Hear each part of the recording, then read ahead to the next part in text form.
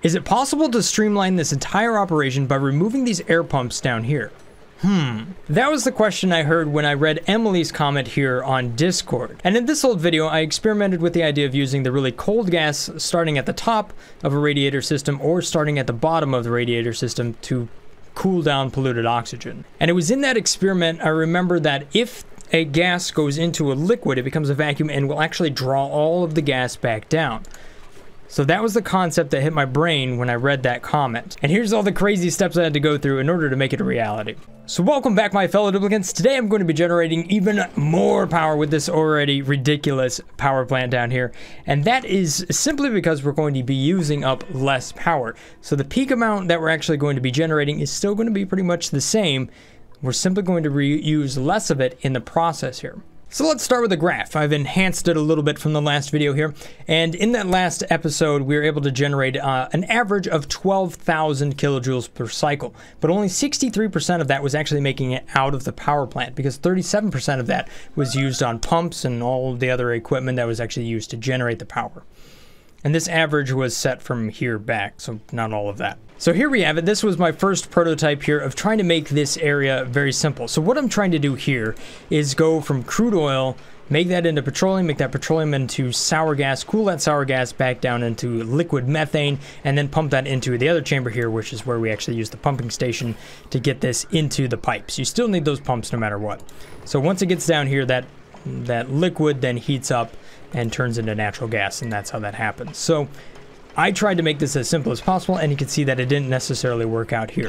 The main things that I ran into here is that the liquid blocks the gas that might form up here from going down there. Now I do have a pump to kind of work that a little bit, but it's also very hard to control just how much liquid is down there. The other thing I'm experimenting here is the difference between co-current and countercurrent in this setup. So what that is, is co-current here is actually going to bring in the coldest liquid next to the hottest gas in our system, and that's going to drive the temperatures closer together over a shorter period of time, essentially. So this is just going to happen much more rapidly.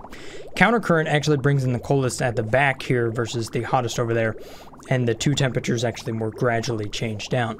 It's actually very interesting in that um, ideally I would think the co-current would be the design that we'd go with, but as it turns out, the countercurrent is actually the one that ends up working. So my first design iteration here was to really redesign the top end of this system up here. So this is actually going back to what I had previously because that actually seemed to work out really, really good. So I'm bringing in the crude oil over here, and this heats up and it goes through a little bit of automation to determine just how much is, is flowing out of this system.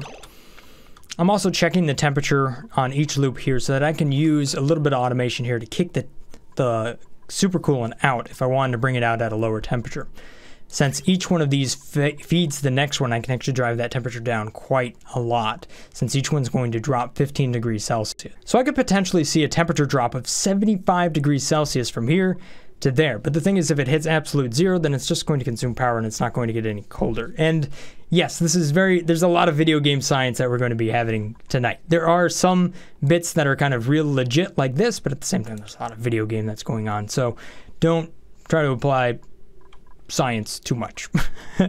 Anyhow, super supercoolant is flowing through here, and I can go ahead and throw that out as well. You can also see that I switched the flow up down here from co-current to countercurrent. And what we could see is that this is actually condensing this gas quite a bit. As it turns out, this system would actually jam up when I was running the liquid the opposite direction. And I believe why that was is because if I ever overcame the coolant capacity of what I have here, the rest of it would kind of even out. So the temperature change is happening so rapidly, everything just ended up pretty much the same temperature down here, which wasn't enough to actually um, condense it into a liquid. For whatever reason, it would just run very sporadically. Whereas running this backwards like this actually almost combs the gas from the bottom up and once it reaches a liquid, then everything drops down. Now while this looks like it's working absolutely great, it isn't actually efficient at all. But the reason why it wasn't efficient wasn't really clear to me to begin with. The other thing I should mention here is I'm now using steam turbines up here to cool these thermal aqua tuners because sometimes they generate more power than I can pull out of them. So I got to just keep that temperature down. This way I get a little bit of power out of this and I also control the temperature of the aqua tuners so that it just don't get too hot. You can imagine if this gets super hot up here, since it is the same chamber, um, the delta that we're dealing with right here is, is pretty extreme, and it just gets even more extreme. I have had some cases in doing this where this has gotten so hot up here that the supercoolant became so hot that it actually burst the pipe. One of the other things I have to deal with here is taking this liquid and turning it back into a gas. So you can see what I'm doing over here is I'm actually pumping this liquid over here and then I'm, I'm running it across a couple of space heaters. I did look at using a liquid tepidizer, but it, unfortunately the amount of liquid that I need to submerge a liquid tepidizer was just too much. Although I'm sure I could potentially submerge some other liquid on top of the tepidizer to make that work. But you know what? The space heaters actually worked out pretty good.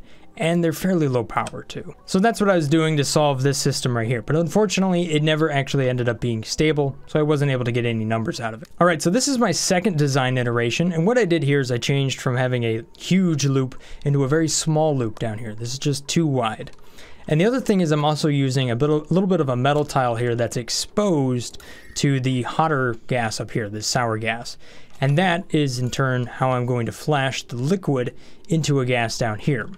So as I'm pumping it out, it should hopefully turn into a gas and, and whatnot. Now while this design does work, and I think it works a little bit better than the previous system, it doesn't really ever become stable or efficient as well. It doesn't even become self-powering.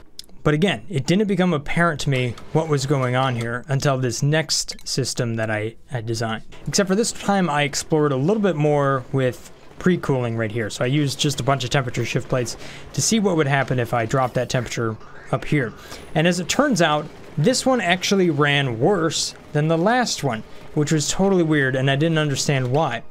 Well, as it turns out, I finally discovered the problem down here, and that's because rather than getting a lot of liquid methane, I was getting a lot of solid methane. Now this here didn't really make a lot of sense to me, because if you go back to like the previous system, I have a lot of radiant pipes and all of that stuff in the exact same chamber as the sour gas, and it's not generating solids at all, whereas this one is, which is a little bit strange. I ended up playing around with the temperatures a whole lot, um, and wasn't able to cure the problem pretty much ever. You can even see down here, I used some metal tile to try to heat up the solids and whatnot. Didn't work. Nothing I tried worked to get rid of those solids. Now I even went as far as to use an auto sweeper to load up a conveyor loader and kind of ship that thing around to try to heat up the solids that are running through that in order to turn that into a gas. Now, while that could be achieved every now and then, it wasn't really all that consistent. Unfortunately, the mass inside of here just was sometimes a little bit too much, and ultimately, it was kind of easy to get this thing to back up, and then once it was backed up, it was not really all that easy to get it to clear. Unfortunately, I don't have a save that shows this working, but ultimately, this experiment right here solved the problem of having solid methane. For whatever reason, when the gas comes off of one of these tiles right here, it no longer is in contact with it, so therefore it only goes to a liquid and doesn't actually go to a solid. And that's really, really weird. But I guess it kind of makes sense because if you have several of these pipes lined up like this, one, two, three, four, all the way down, as that liquid drops down there, it could potentially uh, go across to yet another very, very cold pipe and at that point drop the temperature even more, ultimately ending up a solid at the very bottom. Whereas this, once it kind of comes in contact with the metal tile, it falls away, and then down here it's in a vacuum. So it no longer has the ability to get any colder. So using the learnings from my previously failed test right here, I ended up using a counterflow system right here in order to make the metal tiles here as cold as possible at the bottom and then it warms up near the top. And what you can see here is that this gas, depending on how vigorous it is at the moment, will actually comb its way up or down depending on how, how cold it needs to be. So you can see right where the sulfur is forming right here and right where the sour gas becomes, you know, there you can see sour gas there and then it's a vacuum right there. And as we let this run a little bit more, you can actually see this kind of move up and down depending on, on what my settings are up here.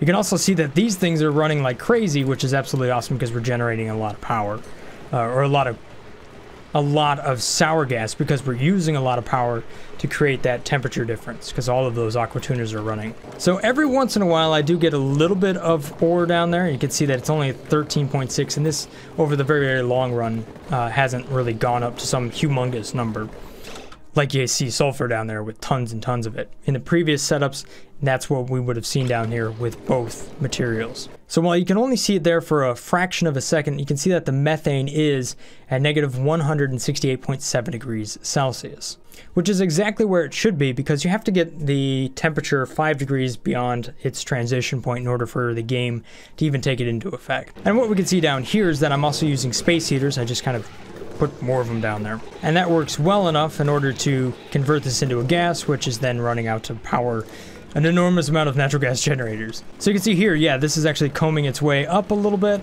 It might go up a little bit further if I just let it run a little a little bit more. It's kind of hovering right here, which is pretty much exactly what I want to see. Now there's a lot of method to this madness that's going on here. I'm only using radiant pipes that are behind this metal tile right here. So I just build the metal uh, radiant pipes right in that spot. Everything else here is insulated so that it doesn't interact with the liquid that's falling past it.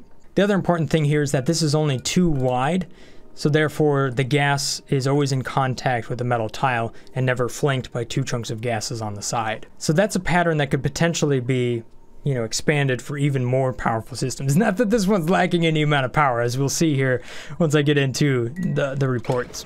If you talk about the automation, it's actually pretty simple uh, as compared to what it was beforehand. So this is set to be below 650 degrees Celsius. So if we ever get above that, then I'm actually just going to turn the aqua tuners off. Otherwise, they're just going to run like crazy. I only ever enable the steam turbines if it gets above 565 degrees. Again, that's above the transition temperature of the petroleum so that we are flashing that into sour gas very, very quickly. But at the same time, we're not also, we're, we're not letting it get super hot, which could also potentially flash more sour gas than we can handle.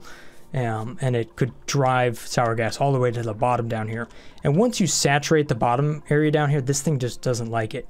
You need to have more cooling capacity than the amount of heat you're putting in. So to make that happen, we have to run the steam turbines every once in a while to kind of delete a little bit of the energy out from the top side here in order to maintain a happy balance between the two areas. So when we take a look at the temperature, it, it, it couldn't be more drastic. So up top here, we have this ridiculous 500 something degrees Celsius, and that is right here. And then all of a sudden, boom, it drops down to negative 137 degrees Celsius, and then it's it's liquid by the time it gets right here. So the temperature difference is absolutely huge. And surprising enough, it really isn't inefficient at all. Remember, the thing that we're comparing this to is the use of pumps in order to pump the sour gas into a cooling chamber. So when you have seven pumps running continuous throughout the entire day right there, that's a thousand kilowatts that we could potentially be saving, which is a pretty, you know, pretty awesome. So let's take a look at the reports here and just kind of compare the previous system to what we have now. So the old system here was using 4,728 kilojoules a day in order to get 8,100 out. So this system right here, as it's being tested right now, has a little additional crude oil that's being run in, so you're not going to see it right exactly it. However, here's what the numbers are uh, on average, which I kind of took from this point outward. And what we can see here is that we got a better percentage difference between the two. So we actually have improved from the previous setup to what we have now.